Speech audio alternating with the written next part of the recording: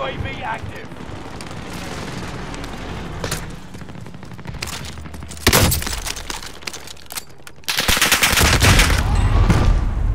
Learn from the loss and come back strong.